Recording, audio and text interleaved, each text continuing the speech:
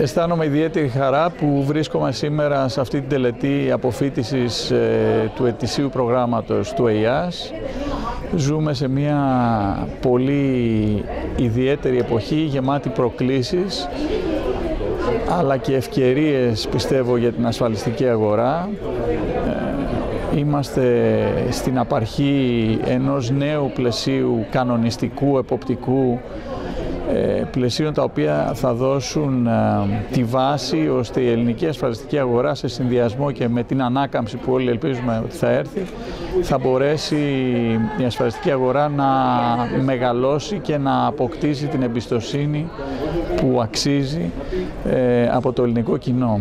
Από την άλλη πλευρά τα θεμέλια αυτά είναι απαραίτητο να χτιστούν από επαγγελματίες οι οποίοι έχουν τις βάσεις, την εκπαίδευση, τη συνεχή εκπαίδευση έτσι ώστε πραγματικά να προσθέτουν αξία σε ό,τι κάνουμε ως ασφαλιστές στη σχέση μας με τον πελάτη.